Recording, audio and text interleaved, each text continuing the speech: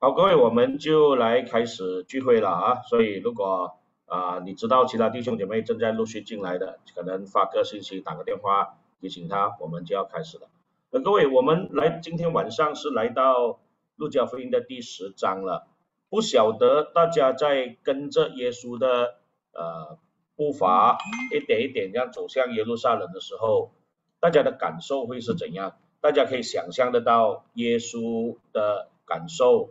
大家可以呃体会主耶稣的心情，又或者我们会不会感觉到很陌生？从来都没有试过那样聚焦，这样 close up 放大放慢一点一点的去看主耶稣所走过的道路，所处理过的呃这些呃议题，所发表过的这些呃教导等等。可能以前看圣经，很多时候我们都是走马看花，我们都没有很很细节的，又或者我们自己本身没有读过这一段，我们在教会都习惯等人家讲，有讲到就讲咯，或者是讲过可能也忘记了。可是现在我们放慢脚步，一点一点的去感受耶稣基督，去想象，盼望我们可以更靠近主耶稣。信仰是一条跟从基督的道路，我们在。圣经里面其他东西的知识可能可以没有这么掌握，可是对于基督的生平是一定要掌握的。我们对于在整个基督教的世界里面，其他的神学、其他的教义可能可以没有那么熟悉啊，可是对主耶稣一定要熟悉，因为我们是基督教。各位，如果连基督都不熟悉，那大概基本上我们我们做基督徒也是做到糊里糊涂了。各位，所以今天晚上或者这一个系列继续谈下去。我们是要不断的呃来更靠近基督，更呃能够认识基督，盼望我们在这个过程里面真的能够呃与基督一起一起来同行。好，我们就一起来祷告，然后我们就要把时间交给今晚上的讲员林思安牧师，让我们一起来祷告。父神，我们谢谢你给我们机会，我们在繁忙的生活里面，可能现在还有弟兄姐妹正在赶着。呃，上班回家的路途，可能我们的晚餐还没有吃。可是不过无论如何，这一刻我们愿意放下其他的东西，愿意聚焦来聆听，来瞩目在基督身上。主要给我们一个这样的时段，我们好像能够从繁忙的马大转向安静聆听的玛利亚。主要让我们的人来了，我们的心也能够来。主要帮助我们这段时间，愿圣灵向我们说话，我们等候你，奉耶稣的名祷告，阿门。好，我们把时间交给李牧师。好，谢谢君儿，弟兄姐妹平安。今天晚上可以跟你大跟大家一起来看这段的经文。其实我今天早上在做一个整理，我发现到非常的丰富，所以呢啊，今天大家真的要啊集中精神来看这一段的经文，因为它里面看得到路加他真的是。放了他的心思在里面。如果你找得到，你看得到呢？就正如那个主题一样，你看见纸了吗？好，我们就打开圣经哦。如果你有圣经的话，请你打开。我也会把经文放在荧幕上，但是呢，若是你自己有圣经，你一直的跟我这样看下去的话，恐怕你的那个的记忆跟那个的印象会更加的深刻。好，路加福音，我们感谢上帝和上两个礼拜君儿传道带我们走过那个耶稣差派七十个门徒出去的那一段。今天进到二十一到二十四呢，也是说到耶稣他就说了这一番的话哦。我们先来看他的第一节。二十一节就这样说，他说：“正当那时呢，耶稣被圣灵感动，他就欢喜快乐了。”所以我们要问的是，为什么在这个时候耶稣会这么开心呢？原来他二十一节就说：“正当那时”，也表示说这一段经文你看的时候，你必须要回到上文去看它，因为上文就告诉了我们为什么耶稣会那么的开心。其实，如果你去看上文的话，你会看到从第一节到第十六节，耶稣差派了七十个人去传福音。他告诉门徒说：“你要去告诉这一些的人，这些的百姓，说到说神的国临近你们了。所以耶稣差派他们出去，告诉他们怎么传福音。但是福音的内容叫做神的国临近了你们。然后呢，这些的门徒因为耶稣赐给他们权柄，他们出去以后，他们回来看到耶稣的时候，他们就说：“主啊，因为你的名，就是鬼也服了我们。”所以门徒经历了好像耶稣那样的大能的权柄，他们看到耶稣的名带来的震撼，而且那一些的鬼呢也服了他们。所以这个对当时的门徒来讲，无疑是一个很大的震撼，因为在那个时代呢，赶鬼确实是不容易哦。而且我们也知道呢，在那个年代呢，有很多人被鬼附，所以耶稣出来的时候，耶稣服侍了很多被鬼附的人。这一个也让我们知道呢。换句话说，当时的这些宗教领袖，他们也赶鬼，可是呢，他们的成效不大。所以呢，在这样的情况之下，这些的门徒哦，这些七十个人被差派出去，他们看到这样的大能，他们心中欢喜，他们快乐。但是呢，我们看见呢，耶稣的回答却不是跟门徒很像的。耶稣说：“我曾看见撒旦从天上坠落，像闪电一样。”我已经给了你们权柄，可以践踏蛇跟蝎子，胜过仇敌的一切能力，断没有能够伤害你们的。所以耶稣说：“你们不要因为撒旦负了你们哦，撒旦今天他被你们赶出去，所以你就觉得很快乐。”耶稣说：“我曾经看过天上的这个的撒旦从天上的降落。”所以他这里要讲的是什么呢？耶稣要告诉他，当神子的权柄临到这个世界的时候，鬼他的。他的下场肯定是失败的，因此呢，曾经在天上他失败了，因为呢他的骄傲，所以他坠落。所以这个在以赛亚书你去看的时候，以赛亚书就很清楚说到他的坠落。所以他在天上失败了，今天他在地上看似掌权的国度呢，他也要开始失败了。所以呢，他这个时候，耶稣就说什么呢？耶稣就说：“现在呢，神的国度要扩张。我不懂你们玩过这个游戏哦，弟兄姐妹，这个可能是八十年代啊，弟兄那些比较。”比较老一点的那个年轻人，可能啊，老一点的弟兄姐妹可能玩过这个游戏。这个游戏就是讲说，我们我们带了一群的兵，我们去扩张我们的国度。然后我们扩张国度的时候，我们必须打人家的兵，打人家的国度，吃人家的土地。所以在这里要给你们知道一个观念，就是当上帝的国开始建立的时候，撒旦的国是注定要崩塌的，他不能够胜过神的国。因此呢，耶稣给你的权柄是要胜过。这一些的国度，所以这个时候门徒回来跟耶稣说：“他说主啊，我们看到鬼也服了我们。”但是耶稣的回答是什么？耶稣说：“不要因为鬼服你们就欢喜，要因你们的名字记录在天上而欢喜。”所以耶稣说：“不要因为感到鬼就快乐，而要确定你们的名字记录在天上而欢喜。”这里我们就要问一个问题喽。今天呢，耶稣说赶鬼不急于名字记录在天上，所以门徒的名字，我今天要问了，要如何的记录在天上呢？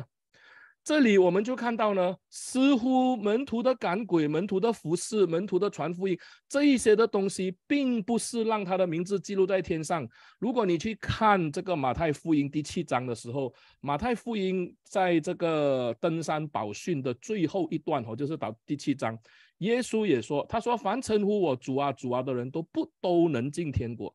他说：“唯独遵行我天父旨意的才能进去。”他讲：“当然，那有很多人对我说：‘主啊，主啊，我们不是奉你的名传道，奉你的名赶鬼，奉你的名行很多异能吗？’”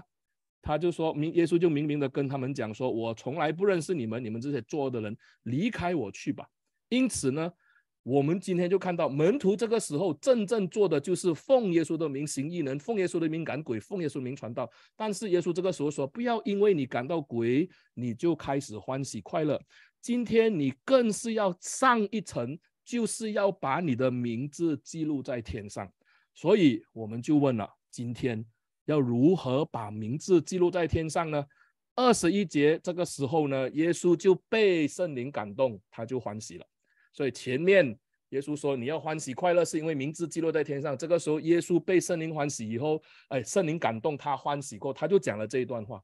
他说：“父啊，天地的主，他祷告了。他说：‘我感谢你，因为你将这些事向聪明人，就聪明通达的人就藏起来，像婴孩就显出来啊，父啊，是的，因为你的美意本是如此，一切所有的都是我的父交付我的，除了父，没有人知道子是谁；除了子和子所愿意指示的，没有没有人知道父是谁。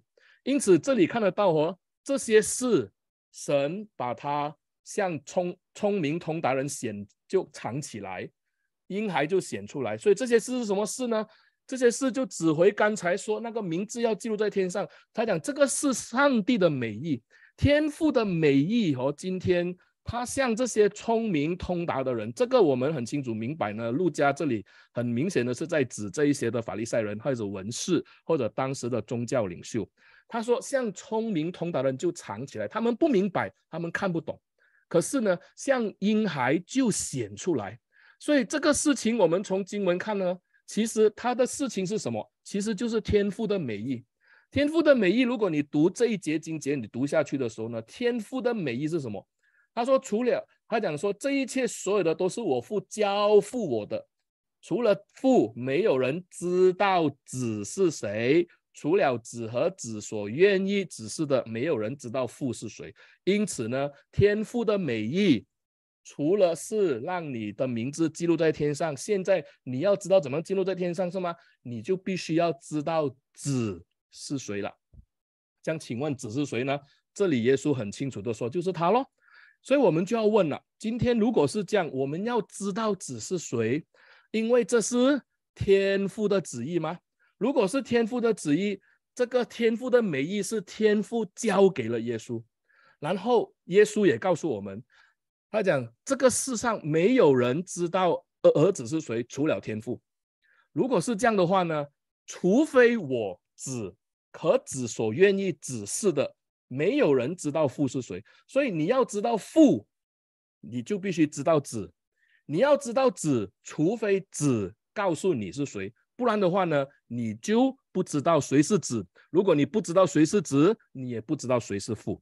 如果是这样的话，耶稣说：“你明白了，你看到了，其实你是有福的。”所以他后面就说呢，他就跟门徒讲：“他讲你们所看见的眼睛是有福的。我告诉你们，先前许多先知跟君王要看你们所看的，看啊没有看见；听你们所听的，却没有听见。是的，在旧约的里面，我们看到很多先知，很多的君王，他们只能够预言，他们只能够听到这个米赛亚，他们没有机会看到，所以。”今天的门徒是很有福的，他们不单单是看到这一位弥赛亚，他们跟还跟耶稣一起生活，他还看到耶稣行神迹，他还看到耶稣执行整个权柄的到来。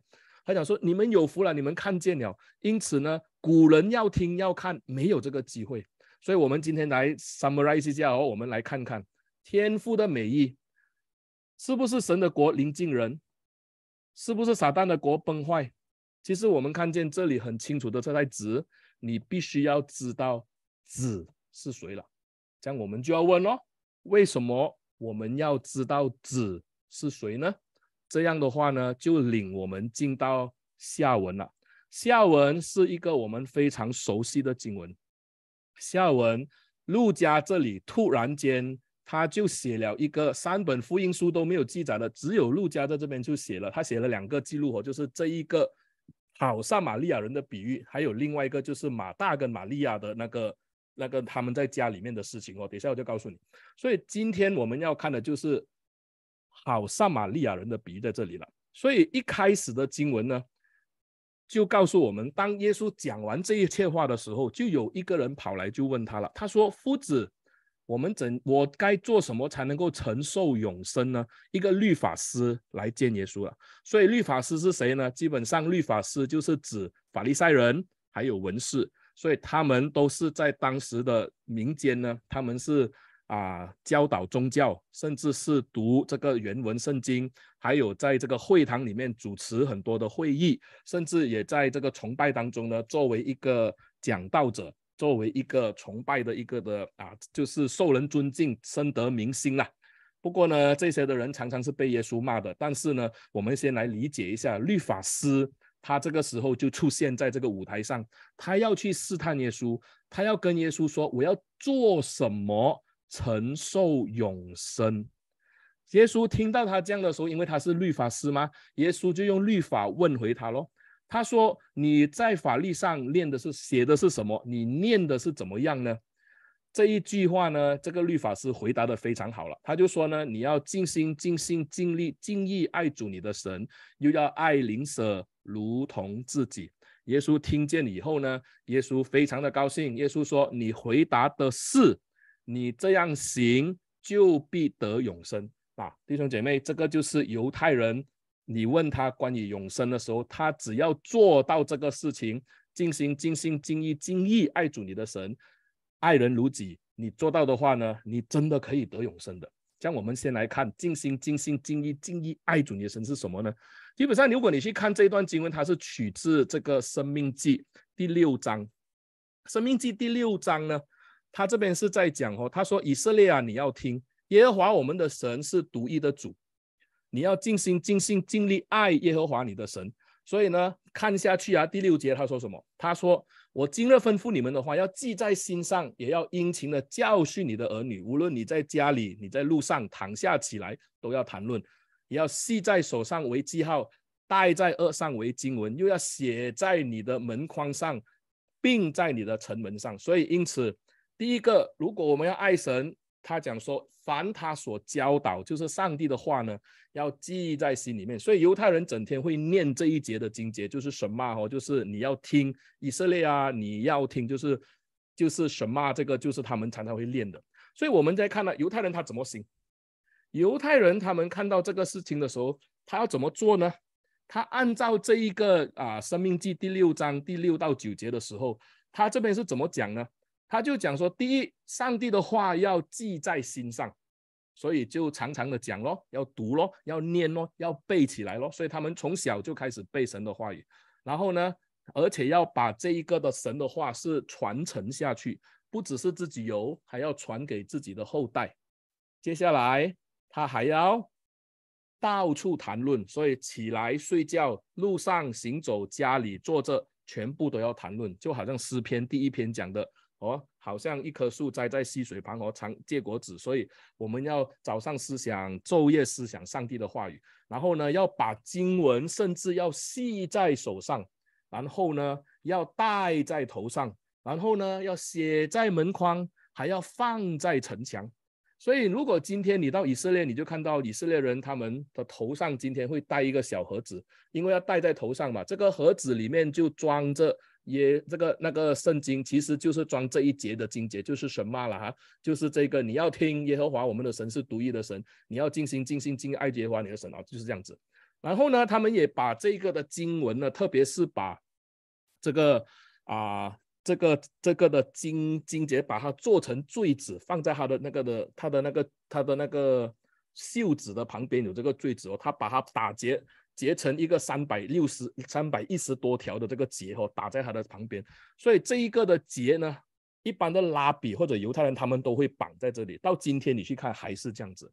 然后犹太人的家，你通常去的时候呢，他不只是放挂在他的这个的衣服上，放在他的头上。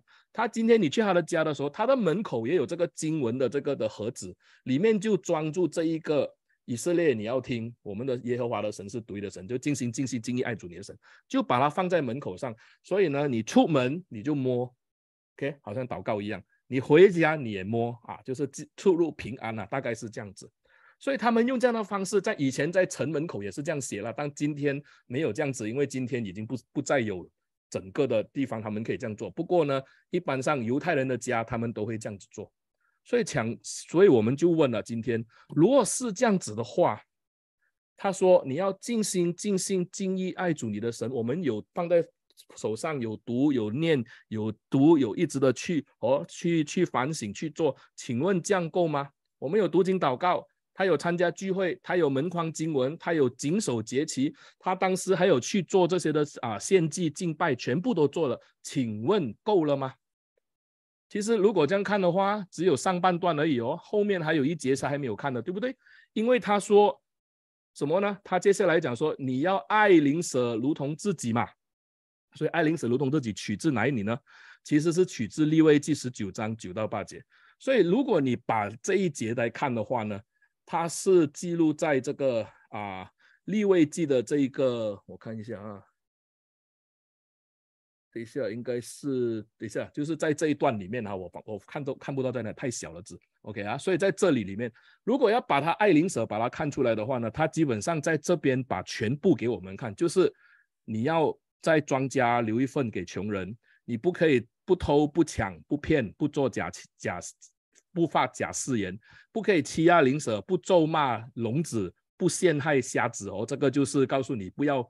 做人不要这么坏，然后要施行公义的审判，不要搬弄是非，不杀人，不流人血啊，就什么讲不怀恨啊，我的这个打错字啊，不不啊，而且要指引人走正路，不报仇，不埋怨，而且要爱人如己。所以爱人如己是包括这么多的哦，爱人如己不是讲说啊，今天我爱你，你爱我，就是这样。他其实在很多方面呢，神把这些的事情已经在旧约，在他们的妥拉里面已经告诉犹太人，这些是你应当做的。那前面跟后面，尽心尽心尽心爱主你的神，就是去这个放经文啊、祷告啊、读，这个容易做呢，还是后面这个爱灵舍比较容易做？弟兄姐妹。来，大家可以回，大家可以回答我一下，哪一个比较容易做？如果是这样的话，参加聚会、读经、祷告啊，这个东西，读经、祷告，然后参加这个的敬拜、赞美和献祭，念读经，经文放在头上，放在身体上，这样东西比较容易做呢，还是在生活上做一个好行为，不偷不抢，不做假事，不咒骂，不陷害，施行公义审判？不杀人啊，不怀恨，指引人，不报仇，不埋怨，爱人如己，请告诉我哪一个比较容易做？来，弟兄姐妹，大家可以回答的，来，有吗？有人要回答吗？OK，有人回了，爱人如己比较难哦。OK，前面都是比较容易做到的，对不对？前者比较容易嘛，因为前者都是。我们很容易做的嘛，就是我们就是去教堂哦，去会堂哦，这样子都是坐在自己的身上。但是，其实这段经文是不是在讲说分成两个部分，坐在人家跟坐在自己呢？其实耶稣在讲爱神，就是尽心尽心尽意爱主你的神，跟爱人如己，神是把它等同哦，他是一样的哦。所以因此你要爱那个看不见的上帝，你要怎么做？其实就是爱灵舍哦。他的意思是这个意思，但是犹太人在那个时代呢，他们做前面的，他后面那边呢，他们讲我们也做，我们我们也爱灵舍嘛，对不对？我们也是爱灵舍，所以怎么爱呢？所以这个时候呢，耶稣讲了以后，这一个法利赛人就要显明自己有理，他就对耶稣说：“他说谁是我的灵舍呢？”哦，他这边要听耶稣讲了，谁是我的灵舍，好让我这样子去爱他嘛。所以他要听耶稣讲了。这个时候，耶稣就讲：“好，你既然要讲，耶稣没有正面回答他。耶稣讲一个故事。耶稣讲这个故事就是我们很熟悉的撒玛利亚人的故事哦。所以大概我大概跟你们讲一下，大概就好了啊。好，撒玛利亚人的故事就是有一个人从耶利哥，哎，耶路撒冷下到耶利哥，强盗看到他，把他打个半死，就把他丢下，他就走了。那弟兄姐妹。”从耶路撒冷下耶利哥这条路呢，到今天为止，你去以色列的话呢，这条路算是一个最老的路了，最老的山路，可以说是有两三两千多年的历史。所以这一条的路呢，是一个很陡峭的山路啊，大概二三二十多公里左右啊。所以这条路是犹太人常常会走，因为你要耶利哥上耶路撒冷也是这一条。从耶路撒冷下去耶利哥也是这一条。这里的经文讲他要下耶利哥，表示说他已经在耶路撒冷完成了他的工作，他要下耶利哥去。所以由此可见呢，他在耶路撒冷里面做的这些的敬拜啊、这些的赞美啊、献祭啊、祷告，基本上是完成了的。弟兄姐妹，当时的耶路撒冷是香火鼎盛哦，人头涌涌的聚会场所。因此呢，他从这个地方下去呢，可以说是一个结束了他的敬拜的活动。他这个时候要回家，他就走到耶利哥去了。所以这个时候很不好命的话呢，这个人就遇到了强盗，剥去了衣服，然后呢打个半死，丢下来就走了，就被人家丢下走了。所以呢，他就是一个非常倒霉的人，在山头上遇到强盗，就好像今天你走在山路，突然间看到一个人光秃秃啊，其实其实应该按照经文来讲，他应该是打到他是赤裸裸的被丢在地上。那如果今天我想问弟兄姐妹哦，你们当中，你走路的时候，你出去街上，你突然间看到有一个人躺在地上像这样子的，你会做什么？来，弟兄姐妹。你走在路上的时候，你看到有一个人躺在路上，我想问你，你会救他吗？你看到这样的时候，你会怎么做？OK，这个比较难的哈，我放一些现代的啊，比如说在 MCO 的时候，对不对？在这个 COVID 的时候，中国很多人突然间倒在地上，就突然间就绑就倒在地上，一个人就躺在那边。这样，请问你经过的时候，你会不会救他？现代发生哦，这个是最这几年才发生哦，活生生的就在我们的生命的我们的我们我们的这一个年代里面发生的。如果是这样的话，你会救他吗？来，我们看一下啊。OK，有人讲跑掉过去看什么事情，有人讲报警。可是那条山路是没有警察，怎么报呢？同学，哦，他想看一下先呐。你们会吗？有一个人躺在地上光秃秃，可能打死了，可能打不死，我们不知道。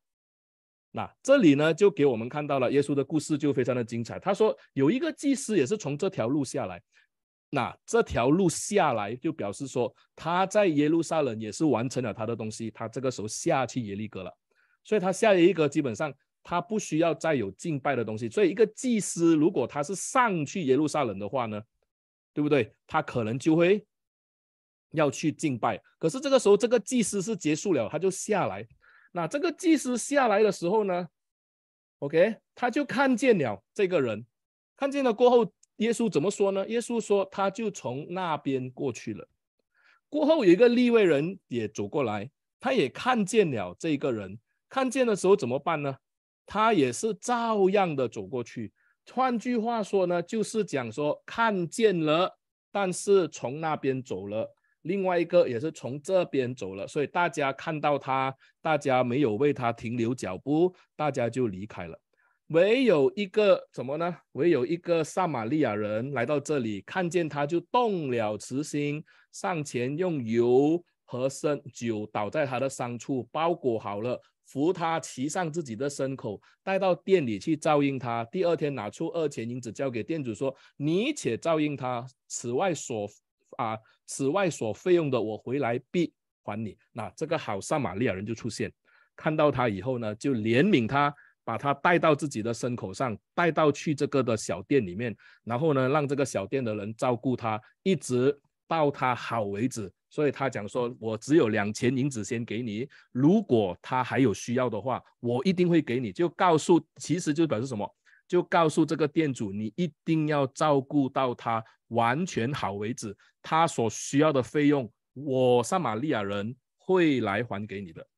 那如果这样看的话，我们常常讲好撒玛利亚人的故事，给我们今天基督徒有什么的学习呢？弟兄姐妹，好撒玛利亚人的故事给我们什么学习？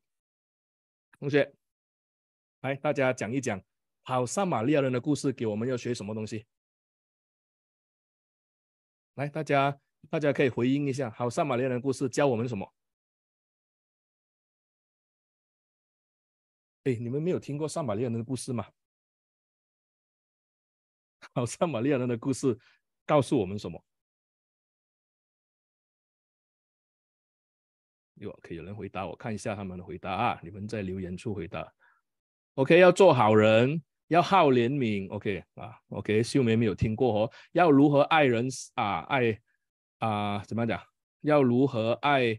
爱做好人的，可以等一下，我不能开麦克风哦。OK，爱人如己，然后等一下啊，然后啊，做人做到底哦。啊，Learn from Jesus。OK，普遍哦，一般教会都是讲说要多多爱邻舍，所以要关心你的邻舍是谁，然后呢，要好像撒玛利亚人这样去照顾他，去帮助他。这个就是我们普遍所学到的，爱人爱到底，帮人帮到底嘛，对不对？所以。今天如果你这样做的话，耶稣讲 very good，真乖，你们是好孩子，耶稣会爱你。可是问题是你要看哦，弟兄姐妹，今天哦，请问律法师跟耶稣探讨的是什么？是做好人吗？律法师跟耶稣探讨的是不是如何做一个好人，如何爱人爱到底，如何去帮助人，是吗？律法师跟耶稣探讨的探探讨什么？他是探讨永生哦。这样的话，永生我们的理解，什么叫做永生呢？永生就是上天堂啦。所以信耶稣上天堂吗？信耶稣的永生吗？所以耶稣还跟这个人讲，他跟这个律法师讲，那你只要这样行，你就得永生哦。因此这件事情，耶稣所谈的这个。好，撒玛利亚人的故事，他是跟我们讲说，你只要做到，你就上天堂。这样我们就讲啊，这样是不是像好撒玛利亚人这样？我们只要做好事，好事让我们上天堂？显然不是哦，因为呢，我们知道基督徒都懂嘛，我们信耶稣上天堂，我们信耶稣得永生，是因为我们因着信耶稣而上天堂吗？不是因为做了才上吗？所以如果是这样的话，我们要回去看哦。那耶稣跟他讲说：“你律法上写的，你念的是什么？”他的回应就是：“尽心、尽心、尽意爱主你的上帝，跟爱邻舍如同自己。”简单来讲，就是爱神跟爱人。那如果是爱神跟爱人呢？这一个本来这里可以结束了的。耶稣说：“很好，去做就好了。”但是显然呢，这一个法律，这一个的法利赛人，他为了要显出自己有理，他就讲什么？他说：“谁是我的灵舍啊？因为他要跟他要在耶稣的面前表现自己嘛。他希望耶稣讲：哦，你的灵舍就是那些犹太人，就是那个。他讲我有做这样的事情，因为我就是有跟着律法这样走嘛。可是你看哈，他问的是谁是我的灵舍？耶稣怎么回答他？耶稣讲完故事过后，耶稣的回答是什么？他讲：你想这三个人哪一个是落在强盗手中的灵蛇？”那我们来看啊，换句话说，今天有一个被打的人，有一个好撒玛利亚人。然后呢，耶稣的问题是谁救人，谁就是被打的人的灵蛇咯。这个是耶稣的回答吗？所以今天谁是他的灵舍呢？就是谁救他咯。所以那个人讲就是怜悯他的人嘛？那我们先来了解一下撒玛利亚人。撒玛利亚人呢，他的他是在旧约。就是两，就是在旧约，我们看到呢，当以色列被这个亚述帝国攻陷以后呢，亚述就把这个巴比伦、古他、亚瓦、汉马跟西法瓦营的人呢，迁移到了这个啊撒玛利亚，然后呢，他们就住在撒玛利亚这个城城城城墙里面呢，跟这些以色列人住在一起，所以因这这样子，他们就怎么样？他们就彼此的通婚，就生下了下一代，我们就称他为撒玛利亚人。所以，因此呢，犹太人不喜欢撒玛利亚人。第一，因为犹太人觉得撒玛利亚的血统已经不纯了，因为他们已经彼此跟外邦通婚，所以他就是杂种。第二，我们也知道呢，他们的种族仇恨很深的，因为在这个啊旧约哦，当这个马拉基过后到耶稣啊这个马太福音这一段时间有四百年的间时间呢。犹太人呢，曾经有一次自己做王，就是在马加比王朝的时候，他曾经就这个马加比王朝就是应该是约翰啊许尔根呢，就是这一个马加比王呢，犹太人的王啊，他们就曾经派兵呢去攻陷耶路撒冷，呃，不是耶路撒冷，攻陷这个啊这个啊撒玛利亚，而且把撒玛利亚人的圣殿呢烧掉。你讲说撒玛利亚为什么有圣殿？因为犹太人不给他们进，犹太人觉得他们血统不纯吗？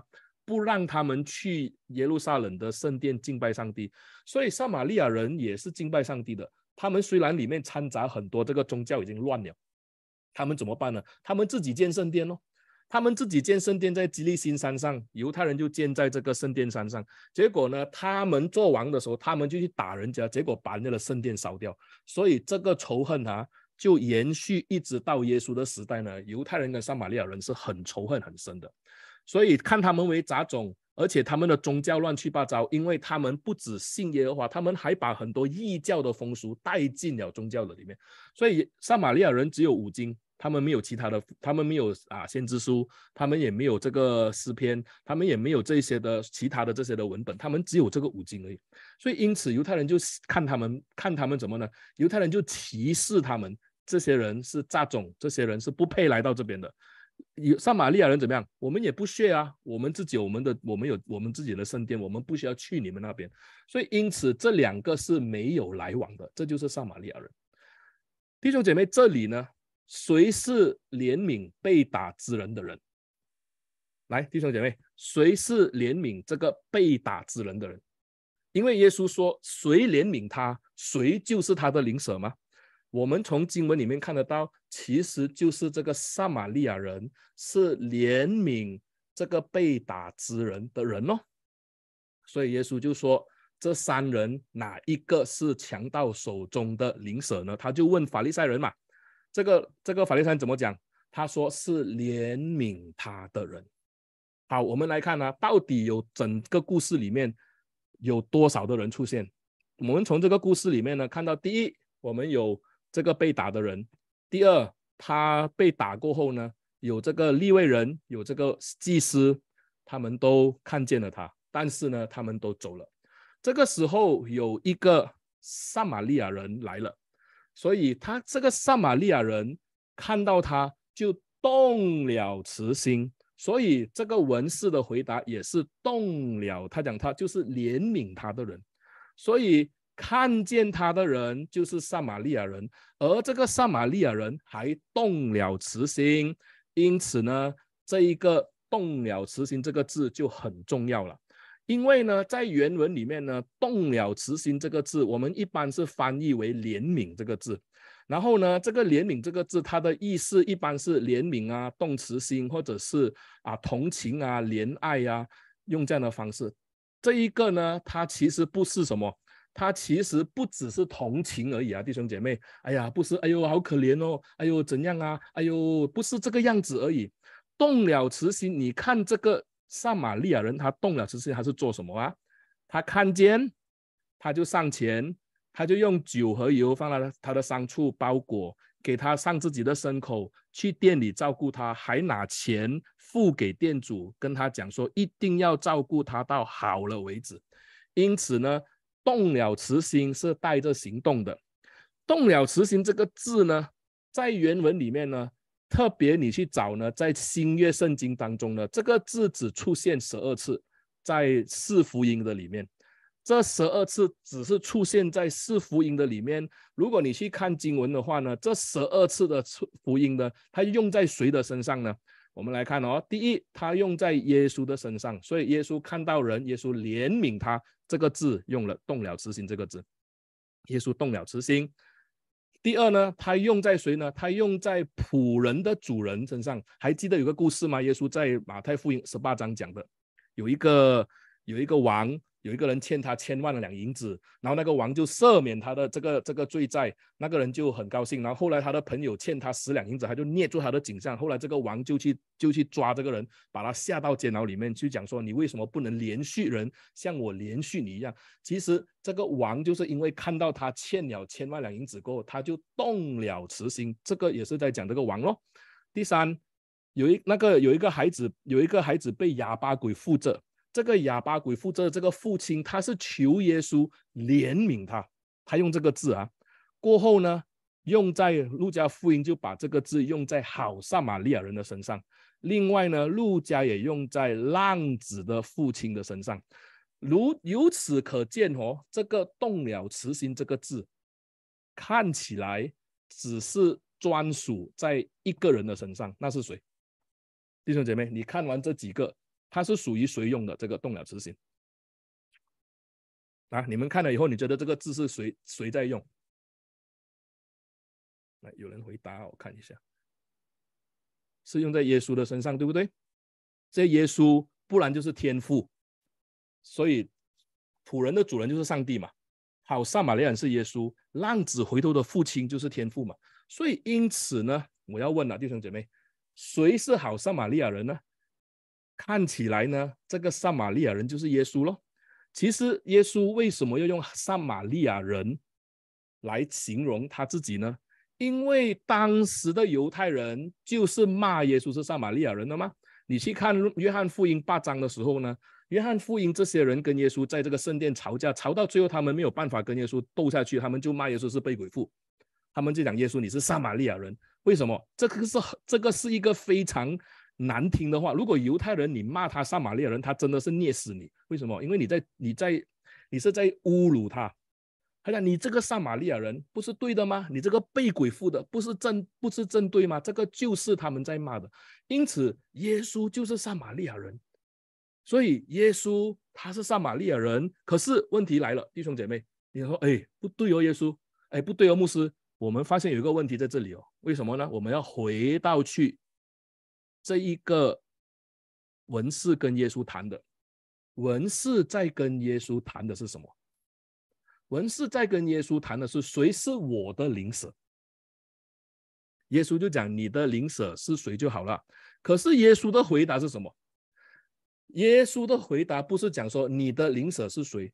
耶稣的灵耶稣的回答是谁是那个落在强盗手中的灵舍？换句话说，文士说：“我的邻舍是谁？”耶稣说：“落在强盗手中的邻舍是谁？”这样子的话呢，我来问你们了。耶稣回答就是：“谁是那个被打之人的邻舍？”祭司、利未人跟撒玛利亚人，我们很清楚看到他是在指撒玛利亚人吗？这样我要回答，我们要回来这里要问这个问题了。这样，请问谁是被打之人呢？如果撒玛利亚人是耶稣，请告诉我。谁是那个被打之人？啊，同学，给你们猜一下。哎呀，谁是那个被打之人？那如果耶稣是撒玛利亚人啊，那个文士讲我的邻舍是谁？耶稣讲被打之人的邻舍是谁？因此，耶稣是撒玛利亚人，fulfill 了，已经满足了他问的那个邻舍吗？这样，请问谁是被打的人？不是外邦人，不是啊，以色列人差一点点。耶稣，耶稣是那个撒玛利亚人，谁是那个被打那个那个躺在地上死要半死那个是谁？躺在地上那个已经快要死掉那个是谁？那个叫救命那个，谁？谁才是那个被打之人？犹太人其实是很，其实是其实呢。他可以指犹太人，不过这里他很清楚是在讲说，其实因为律法师问他吗？谁是我的灵舍嘛？耶稣说，那个被打之人的灵舍是撒玛利亚人。这样的话，谁是被打之人？那就是就是你啦。你问我吗？你要得永生是吗？我就跟你讲，你就是那个被打之人哦。所以因此，耶稣跟法这个文法律这个律法师在谈的时候，他说我的灵舍是谁？他说谁怜悯你？谁？就是那个撒玛利亚人，因此你的邻舍是谁呢？他自己也回答，他说是怜悯他的吗？所以撒玛利亚人是耶稣这一个被打之人，就是这个这个这个法利赛人的话呢？耶稣说这样你就照样去行吧。这样你就问了如何行？那这里呢？路加用了一个开放式的结局哦，这个是路加很喜欢的。比如说这里他用开放式的结局，我们不知道哦后面。到底这个律法师有没有真的跟耶稣所讲的去行？我们不知道。比如说后面的那个故事，马大跟玛利亚，我们也不懂马大有没有像听了耶稣这样讲，他就放下一切去听到。他没有，我们不知道，都是开放式。然后呢，比如说浪子回头的故事，我们也不懂浪子最后啊那个浪子的哥哥最后有没有进去吃饭，因为那个是开放式。每一次讲到开放式的结局，其实路加是有意，不只是给读者。他要给我们这些读者，他要问我们：你们自己要觉得怎样？你们要你们要接受吗？不要接受吗？这个是这个是在问你跟我的问题了。所以因此，我们这样看这段经文的时候，我来回到这边，然后我要解释啊。那还记得这一个律法师跟耶稣讨论的是什么？他跟耶稣讨论的并不是做好人哦，他跟耶稣讨论的是永生吗？所以，如果被打之人是犹太的律法师，他要怎样得永生？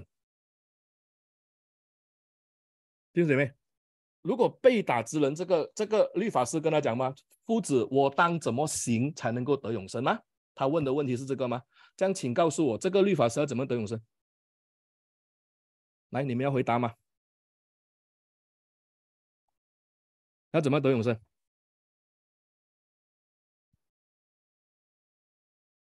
哎，他跟他讨论是要得永生吗？请告诉我，律法师他是被打，他打到半死，他躺在路上，今天他要怎么得永生？他要怎样才能够得到永生？爱人如己？No，他都半死了，怎么爱人如己？啊，Amos 讲要接受耶稣的拯救，要信，OK。所以呢，按照这样来看的话呢，他只要接受撒玛利亚人的拯救，他就得到了这个永生哦，因为他就从这个地上被抬起来，放到牲口，带到去店库，一直移到好为止嘛。所以耶稣的怜悯不单单是怜悯啊这些有罪的人，连律法师耶稣也讲，你要永生是吗？我可以救你的，你只要接受我这个撒玛利亚人就可以了嘛，你接受我嘛。那现在我们来看啊，弟兄姐妹，我问你啊，这个画面呢？每次我们看撒玛利亚人的故事的时候，好撒玛利亚故事，我们都觉得说我们就是救他的人。现在错了啊！如果你这样看的时候，他不是在讲救他哦，他是在讲你就是这个人哦。现在这个人就是你，你现在被打到半死，你现在躺在地上奄奄一息，你现在只只有气息游失，你现在快要死了。然后呢，你知道呢？如果这个的路上没有人救你的话，晚上一到呢，野狼会把你分尸，不然你就会活活的冻死，不然的话呢，你会渴死，你会饿死，你就在这个路上等死。所以在这样的情况之下，你作为这个受害者，有人来救你，你会跟他讨论说：“请问你是撒玛利亚人还是犹太人吗？”你会吗？你躺在地上要死了，人家来救你的时候啊，你是谁啊？你撒玛利亚人不洁净，不要碰我，你会吗？你肯定不会的吗？现在只要有人来救我，我就 OK 了吗？我还要跟你讨论说你是华华华人、印度人、马来人，或者是其他人？今天来一个乞丐，来一个满身是大便的人，他能够救你，你要不要给他救？你也要救的吗？因为现在你给他打半死，你现在光秃秃，你现在半身死吗？你不会在乎谁来救你的吗？因为谁需要帮助？现在不是你去救人的同学，现在是你需要人家救你，所以你在那边等，等那个人来救你。所以现在来了一个你看到都讨厌的人，那个就是撒玛利亚人。犹太人讨厌他，文士跟法利赛人更讨厌他们。因为文士跟法利赛人觉得他们不洁净，他们不但不洁净，他们的血统不洁净，我们连碰他都不碰。其实哦，你要问的问题是，为什么这个撒玛利亚会出现在这一条路上？因为他根本不可以去耶路撒冷的嘛。OK，当然这个是故事了啊。所以弟兄姐妹，我们回到今天我给你定的主题，你看到纸了吗？你看到了没有？从这段经文里面，你看到了纸吗？OK，你看到纸，你要怎么做？我们回到去上文啊。耶稣讲父啊，天地的主，我感谢你，因为你将这些事像聪明跟通达人就藏起来，像婴孩就显出来。你的美意本是如此，一切所有的都是我父交付我的，除了父，没有人知道子是谁；除了子和子所愿意指示的，没有人知道父是谁。OK，请问弟兄姐妹，今天聪明人看不见，婴孩看见。所以是不是这样子？只有小孩子可以得救？不是，他是叫你今天要放你的眼睛去看，你要看清楚，看什么呢？看下去的经文你就明白咯。第一，如何接受这个救赎呢？你要问的是接受谁？所以祭司是吗？他有这个祭祀，他带你去献祭。立位人、法利赛人，甚至耶稣，今天你要接受谁？只有没有向你指示跟显示他是谁？从这段经文里面，只有向你显示吗？只有告诉你他是谁吗？有没有这段经文？我们看到了吗？所以我们看见了以后，我们就来问哦。耶稣就讲说：看见了就有福吗？他讲你们看见了就有福，那眼睛是有福的。我告诉你，以前的人要看看不到，现在你们看到。他这句话同样是问你跟问我。你们看到了吗？你们如果看到那个纸，看到耶稣的时候，你就知道你有福了。这样你就问了：为什么我要知道纸呢？因为什么，弟兄姐妹？因为纸差遣你，只赐权柄给你，只拯救你，只赐永生给你，因为只能够救你。那你看到了吗，弟兄姐妹？你知道怎样得永生了吗？你知道怎样才能够蒙上帝的永生了吗？你明白了吗？所以你会做选择了吗？所以接着下来的经文，路加他就怎么样呢？他就做了这段经文。他说：“你知道要选谁吗？”来，下面的经文在讲什么？我这个我不讲，我留给君儿讲哦。下面的经文讲马大跟玛利亚嘛，所以知道怎样选了嘛？耶稣说。那是上好的福分，没有人能够夺去的。所以你今天明白了以后，你要选，要选对的，不要选错。因为你看见的，你看见只显示给你看的话呢，你就去选。所以，如果我们把第十章我们来看的话呢，第十章耶稣他差派门徒出去哦，你看得到哦，他在里面他就在讲说，第一天国这个时候开始建立，派了七十个人出去，鬼的国度就开始崩塌。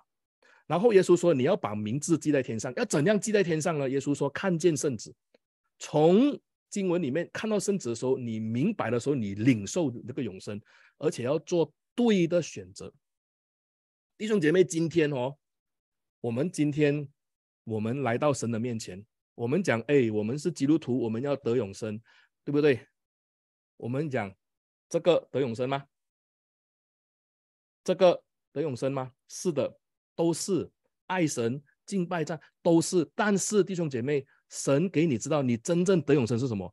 真正得永生不是去当粉丝，去那边唱，去那边跳，更是在什么？更是在这在这个人生的里面确认谁是子，抓住他，接受他，选择他。所以呢，我们可以看得到呢，耶稣要讲的是什么？他说：看见子，接受子，传扬子。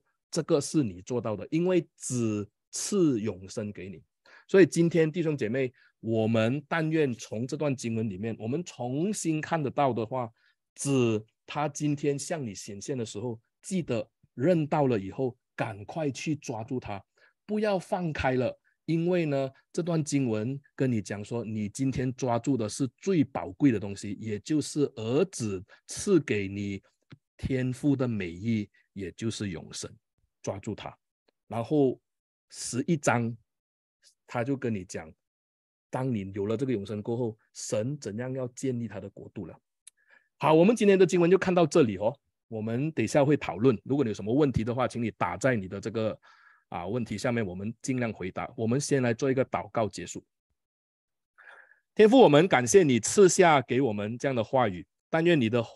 永生，今天我们再一次的清楚的看见，我们从这些的人物里面看到你借着路加苦口婆心的向我们一直的催逼，要让我们看见真正那一位能够救我们的，不是祭司，不是立位人，不是这个法利赛人，而是我们的主耶稣。他虽然看起来好像那个撒玛利亚人这样被人家遗弃。被人家轻看，被人家藐视，但是主啊，他就是拯救我们的，因为他对我们动了慈心，他愿意把我们背上他的那个牲口，带我们去到这一个的店家，确保我们一定要痊愈，而且呢，还为我们付上了那两钱的银子。主啊，我们感谢你，因为你借着你的儿子。把你的美意显明给我们看。今天主，我们看见了以后，求主继续的教导我们如何做对的选择。若是我们做对的选择以后，天父啊，也叫我们把这对的选择带给我们的朋友、同啊我们的亲人、我们的朋友、我们的家人。我们感谢主，我们把这段时间仰望交托，奉耶稣的名，阿门。好，谢谢大家，我把时间交给啊君儿。好，谢谢石汉牧师。我想大家都可以感受到，我们很仔细、慢慢梳理，呃，来了解经文，可以让我们可以更清楚，呃，按照整个文本的那个脉络来认知。我想主耶稣在这里挑战这个这个律法师。以前以前我在中国教课的时候，有人问我老师，什么叫做律法师？我就跟他开玩笑，早上做律师，晚上做法师的，又叫做律法师，两个职业打两份工，不是这样的意思啊，基本上就圣经学者了啊，因为当时他们的律法就是他们的就业圣经啊，就是他们犹太人的圣经学者、经学家，OK，呃，或者新一本翻译成经学家，那耶稣挑战他，你能够去爱你所抗拒的人吗？呃，呼，你谁是谁是那个受害者的邻舍？这个很有趣啊，各位。呃，如果我住在石汉牧师的隔壁，这样他的邻舍是谁呢？就是我咯。这样我的邻舍是谁呢？不是他咯。其实大家是互为邻舍的。所以怎么样定义邻舍呢？呃，怎么样去爱邻舍呢？我们看见犹太人一直走不出那一种框架，他们没有办法爱撒玛利亚人，他们也没有办法爱耶稣。呃，我是指。有权柄的这些犹太人、经学家、呃律法师、圣经学者、祭司长等等，他们因着自己的这些地位，他们没有办法去接受弥赛亚，因为如果接受耶稣是弥赛亚，这样他就要接受耶稣是他顶头老板，这样他权力地位不是立刻崩塌，这样就没有人尊敬他了啊，所以大家去敬拜耶稣。可是这个东西很讽刺是什么呢？约翰在约翰一书那边说，人有了神的儿子。就有生命，人有了神的儿子就有永生。你有了耶稣基督，你跟从耶稣，你效法耶稣，你披戴耶稣。保罗的这个用词啊，跟从基督，效法基督，披戴基督，你就有了基督的生命。所以今天我们看见主耶稣挑战那个人，当你要活出律法的一切真理的时候啊，事实上这一切都在基督身上找到。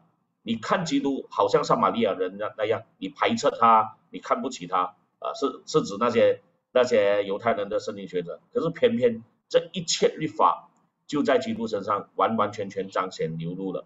你跟从他，你就可以把这些东西都活出来。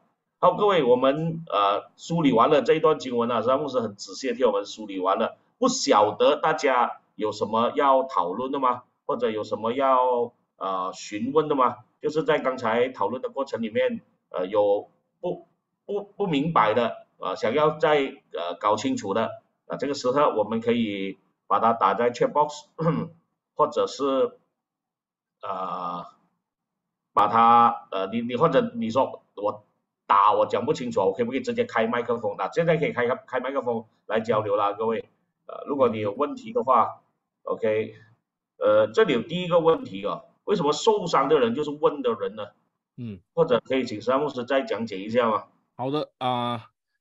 我们先梳理掉的就是，我们先确定第一个东西就是受啊，撒玛利亚人就是耶稣嘛，因为那个怜悯那个字是其实是四福音里面是只有耶稣跟上帝用而已，是专有名专有的用词来的。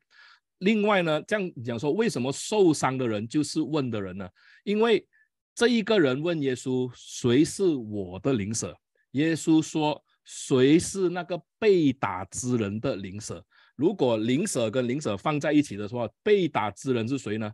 被打之人就是这个问的人哦。他的其实他是有意是要这样跟他排，因为呢，他要这样让他看得到，他不是今天是你去做什么你得到，而是今天你接受耶稣你才得到永生。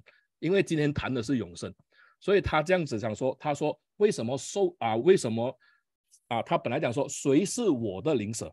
他要问的是这个，耶稣说：“这样被打之人的灵舍是谁？”他同样是问灵舍哦。另外一个耶稣回答也是灵舍，但是他讲的那个被打之人的那个人其实是谁？就是你了。所以今天对于你，你要得永生的话，你只能够接受我，我就是那个人，哪怕我是那个你讨厌的撒玛利亚人。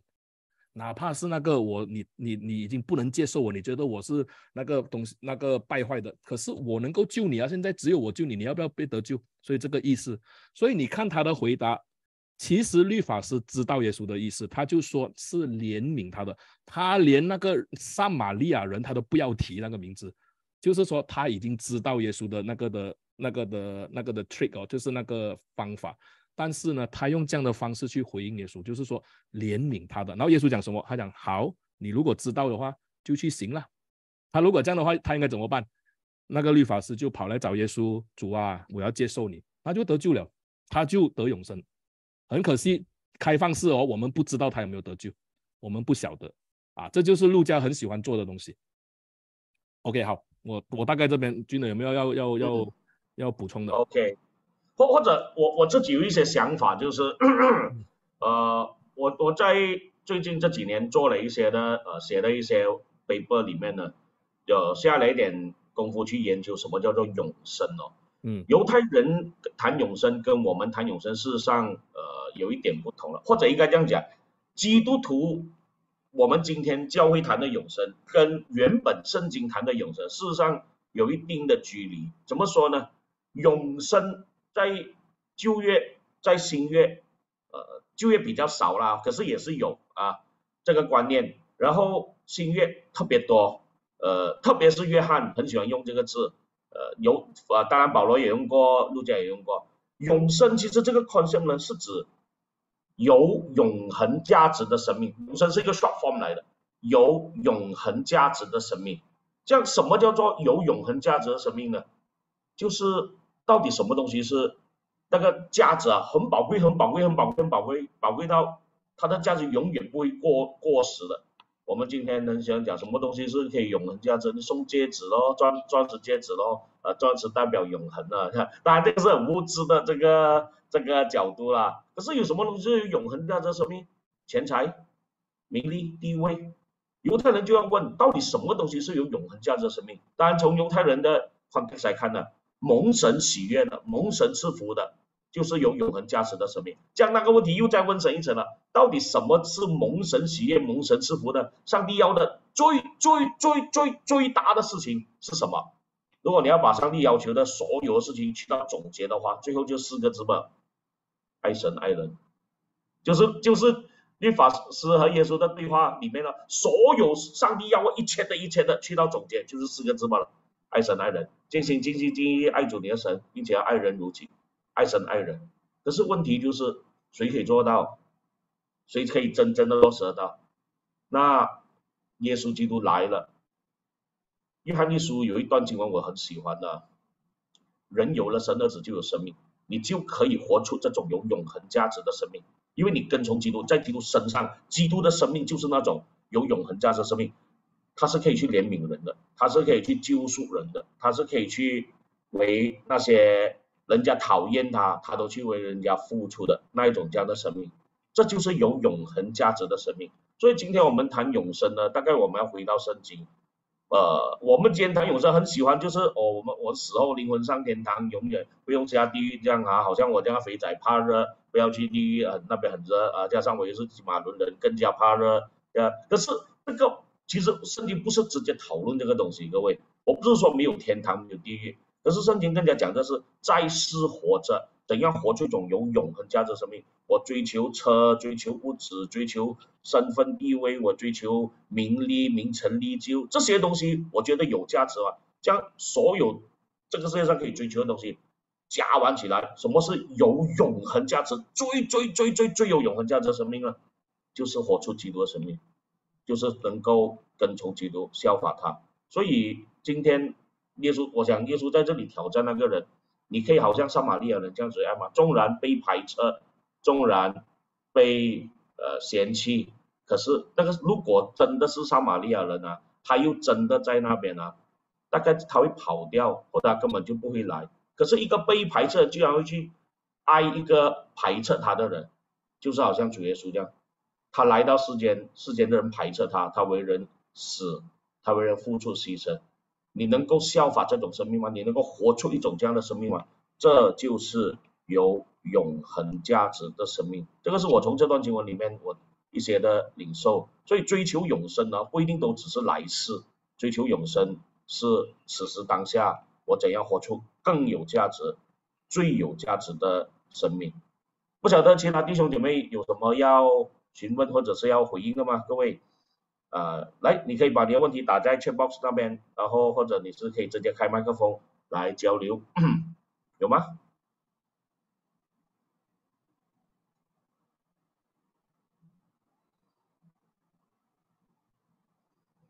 我看到有弟兄姐妹呃写上的是感想和学习哦，所以如果你没有问题，不过你觉得哎今天我有一些领受学习，那也欢迎你把它打上。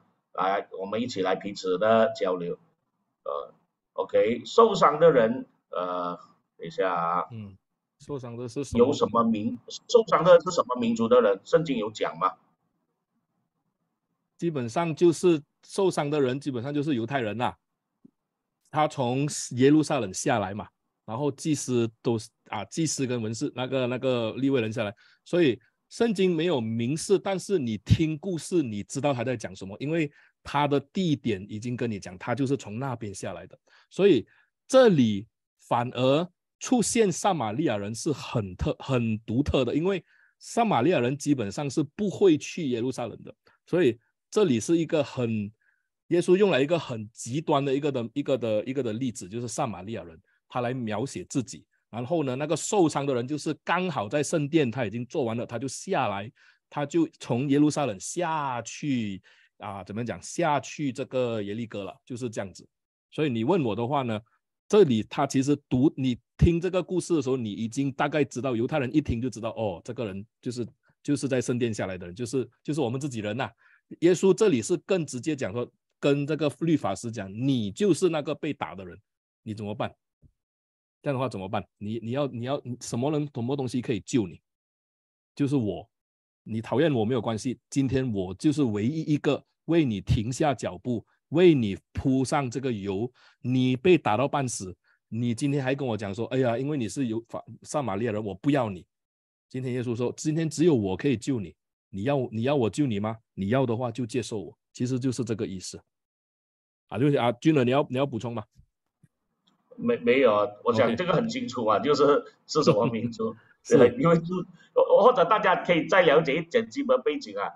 基本上犹太人是不会欢迎任何非犹太人住在门当中，在那个时候，嗯，呃，耶稣所在的北部加利利那一带呢，然后再上就是叙利亚，就是那个那个加利利湖左右两边，右边比较多是。犹太人地方左边格拉森那一带比较多外邦人，可是南部耶利哥、呃耶路撒冷基本上是不会不会有外邦人的，不会有非犹太人的，因为他排外性太重了啊。去那边你人家看你的表情，人家看你的脸色，你都不会自在。所以为什么从耶路撒冷去呃去去这个呃耶利哥那个？就只有犹太人了，因为都没有非犹太人住在那边的，就差边会给人家排斥的。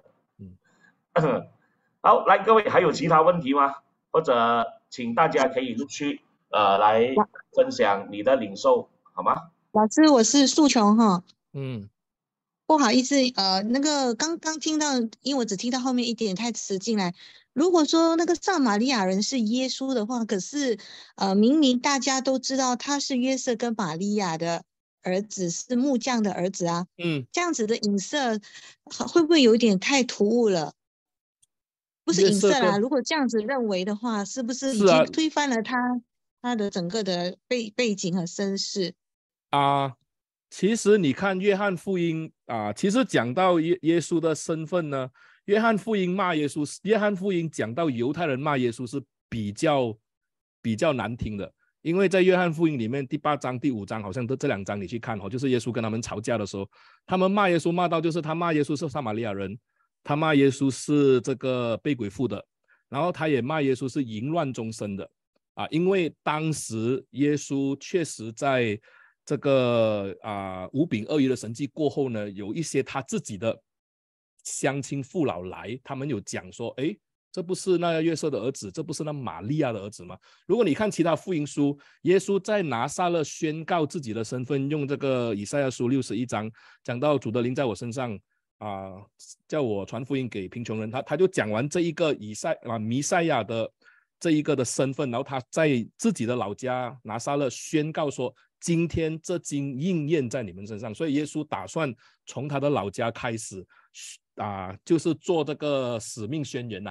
讲完过，他要开始传福音，可惜自己的老家不接受他，把他赶走。然后他讲，这不是那玛利亚的儿子，他的啊弟弟那个什么，他的兄弟约西啊、犹大啦，他的妹妹不是跟我们在一起吗？然后你看其他的福音书讲到他的时候，也讲说，哎，这不是那约瑟的儿子。其实两个东西是讲什么呢？当你用约瑟的儿子讲他的时候，就是讲说耶稣。他是一个木匠的儿子，所以他是谁？他怎么可以做弥赛亚？第二，每次他用到玛利亚的儿子讲他的时候呢，这个很可能是在指耶稣的出生，因为拿撒勒人都知道他的妈妈玛利亚呢，她是怀耶稣的时候是还没有过门的，所以耶稣回去，他从埃及再回去的时候，我们就晓得他从小在那边长大，很多人基本上是啊，大家都很喜欢他，可是呢。这一些的东西，很多时候可能就成为茶余饭后的故事了。所以当他这个时候回来的时候，他突然间讲他就是弥赛亚，所以老家的人一定不接受他。可是如果你去看那一段经文哦，就是啊，路加福音第四章，还有啊，好像是马太福音是第九章哦。耶稣讲到这一个的时候，如果今天耶稣向他们宣告，他说主的灵在我身上，叫我传福音给贫穷人，然后瞎眼的得看见，瘸腿的得行走，长大麻风的得洁净。你要怎样证明耶稣是弥赛亚呢？耶稣已经讲了嘛，瞎眼的得看见，瘸腿的得行走，长大麻风的得洁净嘛。所以你就跟耶稣讲好咯，你就拿拿一个瞎眼的来，你叫他开眼睛，如果能够开，你就是来自神；如果你能够叫哑哑巴的讲话，你就是神；如果你能够叫长大麻风的得洁净，你就是神。你应该是做的这个东西。可是犹太人他们的老家做什么？玛利亚的儿子。犹大啊，那个月色的儿子，然后把他推下山下，就是从他的出生去拒绝他，而不是从他所做的来证明他。所以很可惜，拿撒勒人他就把耶稣抬出去，要把他杀死，把他推走。所以耶稣后来就到这个加百农、伯赛大、格拉逊这几个地方去传福音。所以很可惜的，这个东西就是这样子。所以当路约翰福音讲到他们吵架的时候，他们骂耶稣真的是骂到很严厉哦，就是讲耶稣是淫乱终生的，我们不是淫乱终生的，其实就有一些这样的贬义在里面。可是你就明白，如果你今天要证明耶稣是神的话，你要怎么证明？你就看他所做的嘛。耶稣说：“你不要，你你你要看我所做的，所以我今天可以做的，就表示说我的力量来自神。”所以你看那一个神迹，就是啊，在那个屋子不是开了一个洞，那个屋顶上开一个洞，然后放个摊子下来，那个神迹还记得吗？放下来的时候，耶稣不是讲小子，你的罪得赦了吗？那个法利赛人不是讲说，你凭什么讲你这个人讲浅望的话？你凭什么讲你可以赦罪？耶稣就问他吗？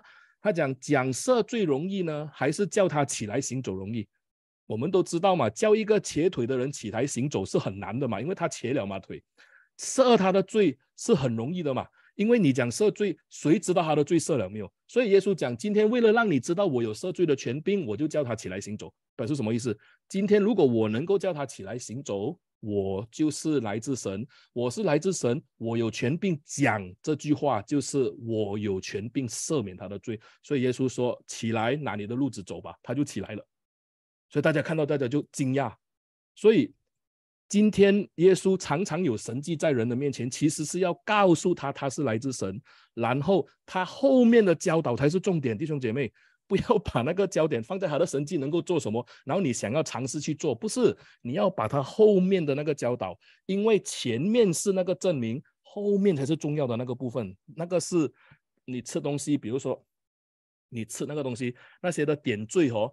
它不是重点，重点是那条鱼，不是上面那些的蒜蓉啊，你懂吗？你蒸那条鱼和那个蒜蓉在上面，哇，你看到那蒜蓉好好，你就一直吃那个蒜蓉，你忘记你是吃鱼，你要你不是吃那个蒜蓉，所以这个情况也是这样子。我我这个是我的理解了哈，啊，君儿看你有没有 要要要去补充的。耶稣在这里讲比喻嘛，各位，既然是比喻，你不可以把比喻里面的东西呃。呃，怎么说？比喻需要联想，比喻需要想象。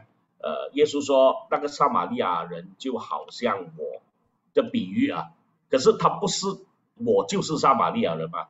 啊，就就呃这里指的撒玛利亚人就是在那个比喻里面是被你们犹太人排斥，被你们看不起，被你们边缘化。我们要看那个比喻的那个脉络，到底他要呈现一种怎样的对比？所以他不是真的撒玛利亚人。他好像撒玛利亚人，在那个处境里面是被排斥、是被轻看、是被边缘的。犹太人骂耶稣什么都骂过了，骂他是被鬼附的，反正这个还不是最厉害，这叫骂他是鬼王。啊，你就是靠这鬼王高，你就是鬼啊，不用多讲啊，你不是人来的，你是鬼啊，你会心生气，不过你是鬼来的。啊，这这些这样的话什么都骂过了。可是话说回来，当耶稣讲比喻的时候呢？我们也要知道，比喻就是比喻哦，比喻不是 actual。比如说人子来的时候，好像贼来一样，这样请问人子是不是贼呢？然后一看到贼就是看到人子啊，人子就是贼，这样你这样又有一点过度解读了，所以好像贼来一样，没有人能够知道。天国好像一个面交，叫我看到面交的时候，我就啊，这个就是天国了，是吧？这样又不是了，各位。所以他好像就好像这个经文里面，好像撒玛利亚人在犹太人的处境里面是被排斥的，是一个比喻来的。好，各位来陆续有其他的呃问题，或者是今天啊你所学到的是什么？我看陆续有弟兄姐妹写，呃，你今天所学到的是什么？来，各位欢迎大家继续写上来，好吗？你有任何问题或者你有任何学习感想，都欢迎可以把它写上来，有吗？或者你你你懒得写的话，你可以直接开麦克风来交流吧。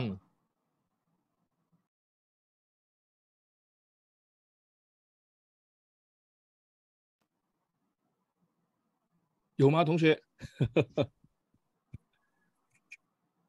你可以把你的。呃，今天的领受感想写下来，或者你呃有什么对于信仰、对于经文呃所不认识，当然特别是今天所谈论的啦，呃，那我们就把它提出来，大家来互相交流。我们先讲明哦，我们这里我们不是上帝哦，不是，我们也不是圣经的原作者，所以不是什么东西都百事通，什么都会了。不过就凭我们所懂得的，我们可以一起来彼此学习、彼此交流啊。嗯 我们不是学者。我们也是学生来的，在上帝和真理面前，我们也是学生，大家一起来互相学习。来，有吗？各位，你有什么想要一起来学习的，或者你你可以把你的学习心得可以写下来，我们来大家彼此的交流。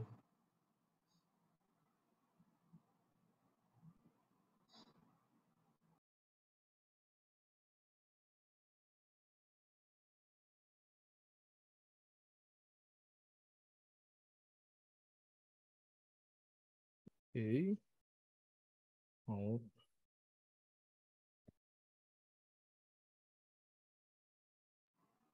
那各位，这个这个呃奖金系列呢，我们是希望可以呃鼓励更多弟兄姐妹，可以好好的来读经，好好的来呃走过圣经一段一段的呃抓住圣经的原意。我们用诗经讲到，所以如果你觉得这个系列，哎，这个不只是我想听，我也想鼓励其他身边的弟兄姐妹听，那欢迎大家，呃，可以把这个 Zoom link，或者是你就邀请他加入这个 group，呃，来一起来学习，我们都欢迎的，我们这里不分宗派，不分呃呃教会的，欢迎大家一起来学习。那如果你听了之后你有什么要交流，也欢迎一起来一起来彼此分享。我们的那个啊 WhatsApp 的群哦，啊，如果你还没有在里面的话，你也可以把名字呢或者电话你联络我哦，或者联络君尔传道，我们会把你的名字跟那个电话放在群里面，所以有什么东西我们会那边会通知你们。以后我们有什么资料啊，比如说今天晚上的这个啊拍拍 PPT，我会把它做成 PDF，然后我会放在上面，然后你们要去下载的话就可以去下载来看。啊，没有问题的，所以我们会分享上去。然后今晚的这个影片啊，君尔传道他会在 Facebook 上面有这个 live 的 recording。然后我明天就今天晚上了，大概我要等他录完哦。今天晚上做好以后呢，我会做一些简单的这个啊这个的 edit 过后呢，我就会放到 YouTube 上面啊，这样欢迎大家可以在 YouTube 上面去啊。如果你的朋友他们想要再看的话，你也可以回到 YouTube 去看哦。啊，我会放在我的 YouTube 上面，OK。啊，君尔传道说在那个那个哪里啊，在我们的 Chat Room 里面，你就看得到君尔传道他那个 Facebook，他们在里面有这个直播，所以你可以去看直播在 Facebook，或者可以在我的这个频道上就看这个 YouTube 的这个的重播。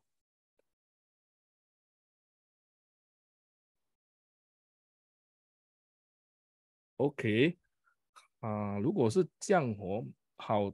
好的啊，我顺便报告一下啊，俊乐，我报告一下下周的好吗？下次的，OK OK，这样下一次呢？因为我们这一次是其实本来是上周的，不过因为上周俊乐传道不得空，所以我们就把它移到这个礼拜。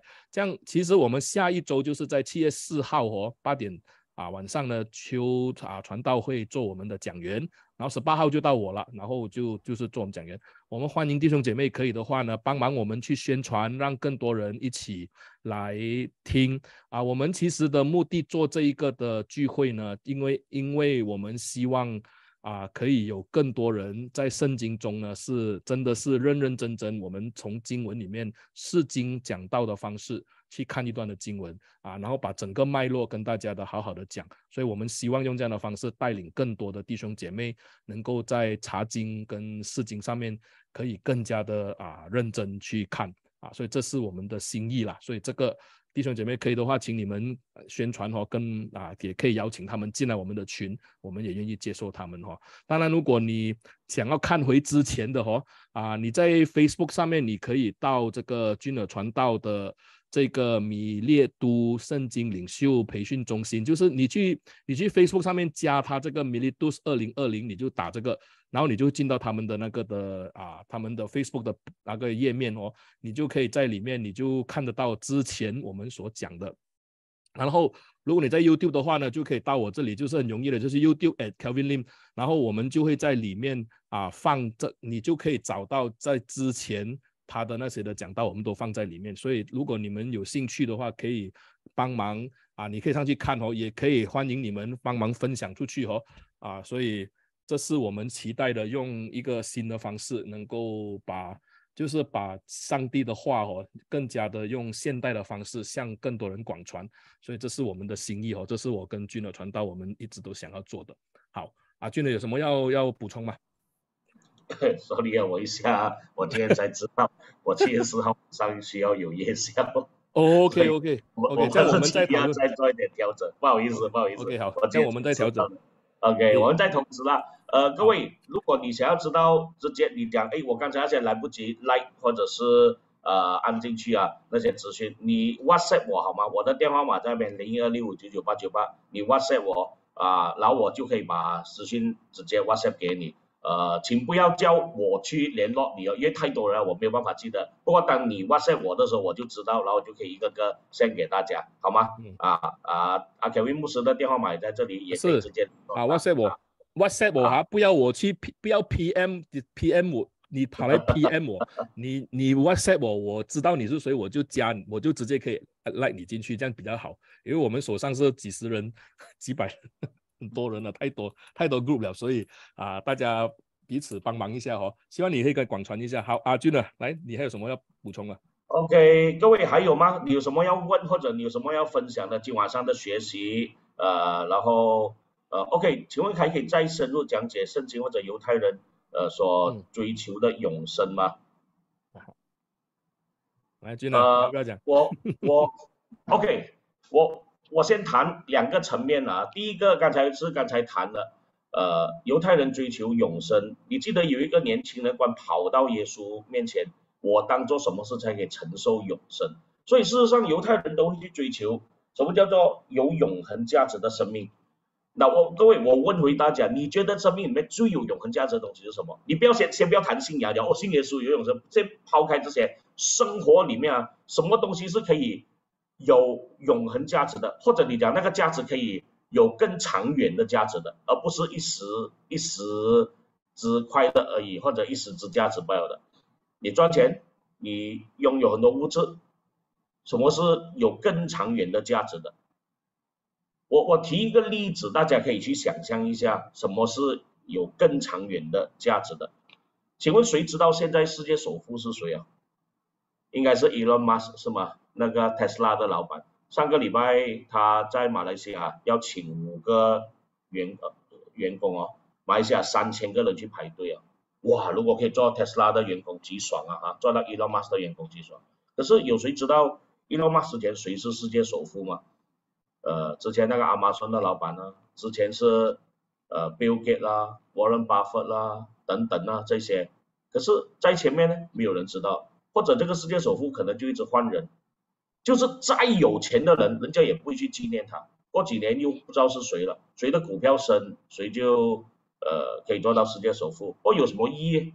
你拥有很多钱，马云讲啊，钱对他来说只是个数字吧。当然，很有钱的人可以讲这种话。不过我想说的就是，一百年后可能都人家不知道谁是 Elon Musk，一百年后甚至没有人知道谁是 Bill Gates，谁是沃伦巴菲就是说他再有钱，他给人家记得他是很有钱的人，一百年后也不算得什么。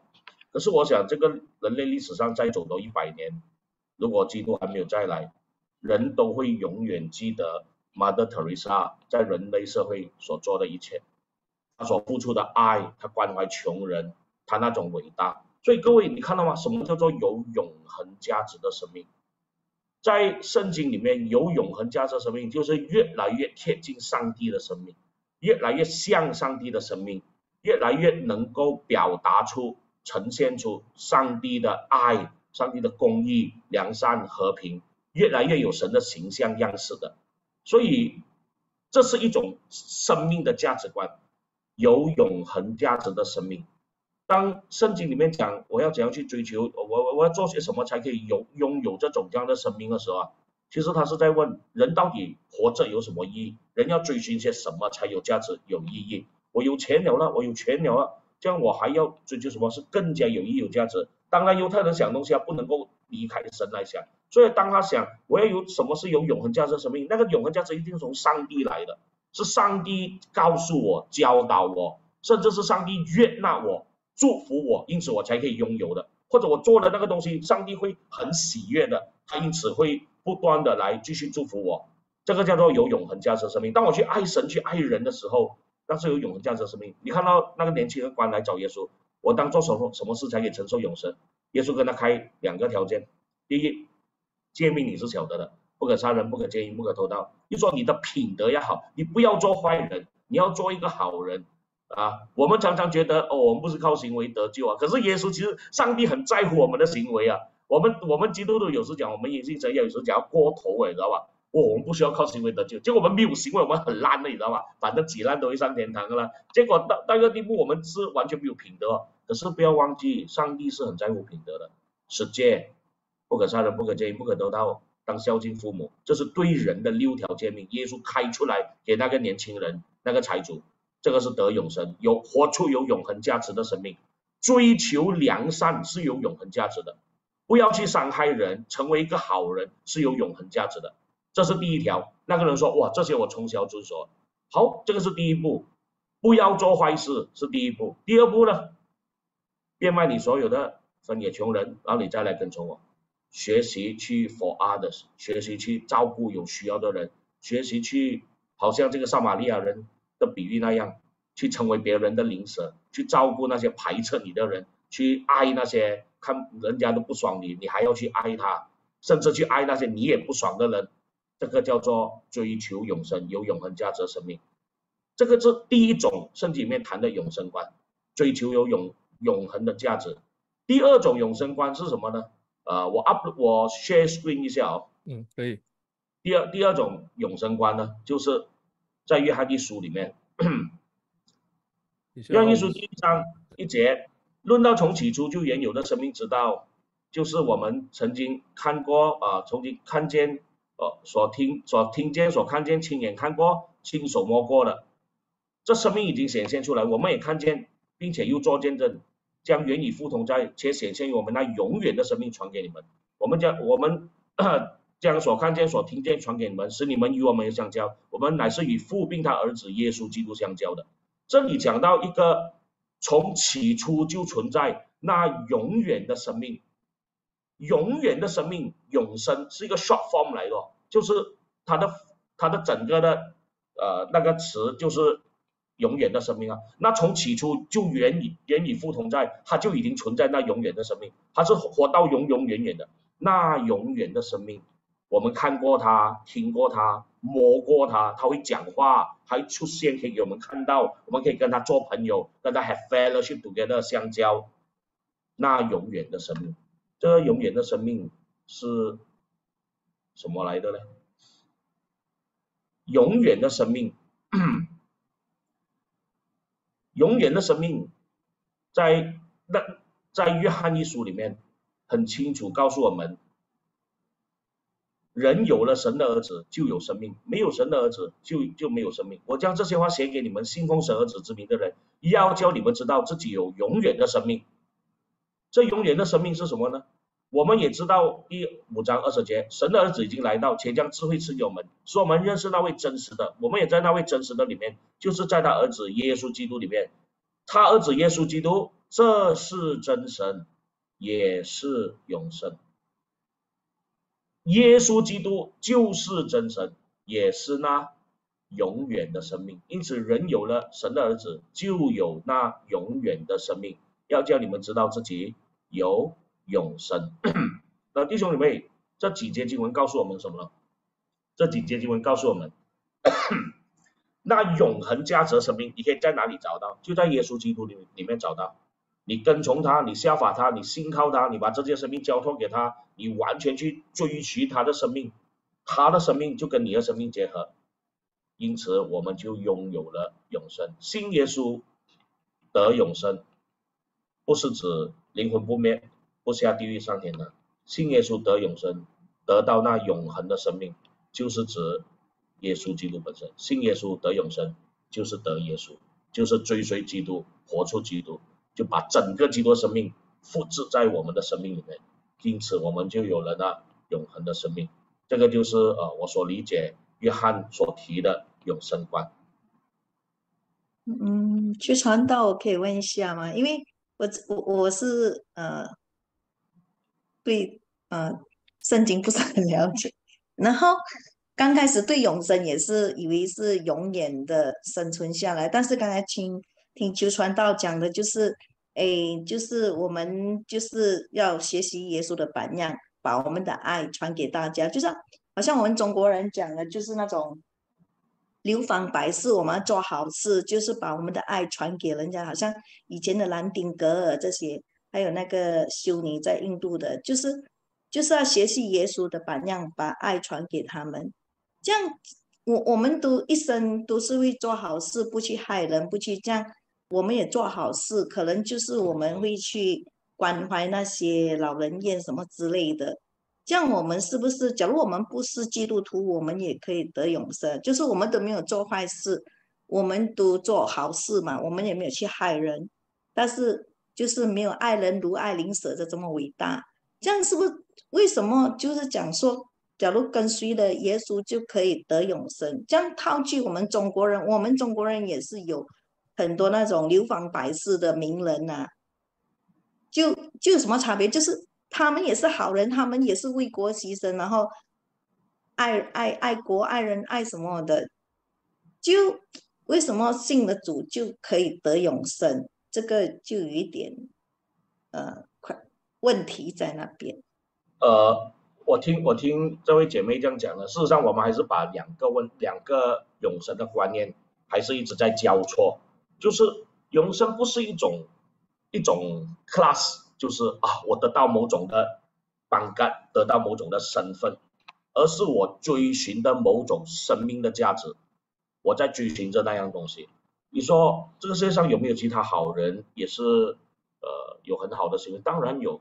我们先要在一个前提上来讨论这个东西，就是这个世界上所有的人都是罪人，再好的人也是有罪的好人。我们没有一个人是完美的人，我们大家都是罪人，因此人的罪性会不断扭曲我们，我们可能会伤害自己，伤害别人，我们可能会做坏事，呃，去得罪人，所有罪都会带来伤害的结果，因此我们在追求怎样去抗衡这个东西，但是关键就是上帝给我们一个方向，你要爱神爱人，你要去活出一种这样的价值。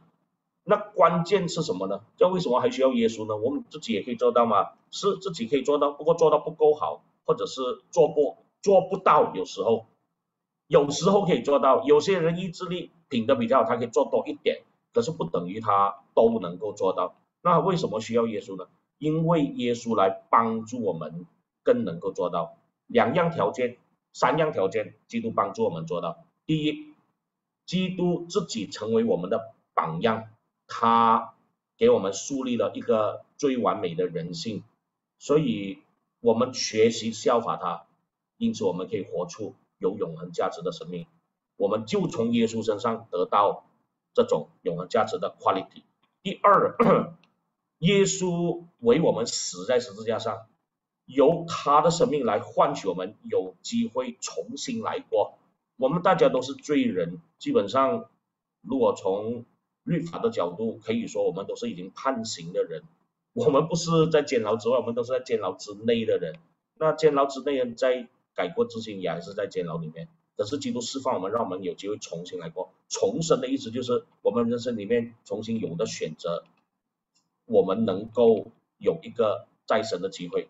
基督的十字架救赎我们。第三，因为基督的圣灵内住在我们的生命里面，靠着他给我们力量，不断感动我们，引导我们，帮助我们。因此，我们可以学习他，靠着他的力量去活出有永恒价值的生命，活出好像效法基督的生命。所以你讲，呃，自己做得到吗？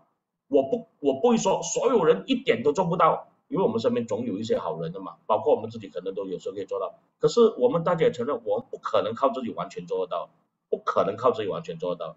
所有的人都知道，在自己的生命过程里面会有跌倒，会有失败。会有差错的时候，所以我们需要耶稣基督。这个问题，你讲跟世界上所有人比，这样人家也是很好吗？呃，可是有谁没有人性的扭曲的部分呢？只是我们还没有看到罢了嘛。我们看到他美好的一面，可是还没有看到他还没有不把那个还没有被揭露的一面，因为我们自己本身也很多隐藏的一面，所以人需要去靠着上帝。来跟上帝和好，跟自己和好，这个是上帝应许给我们的有永恒价值的生命。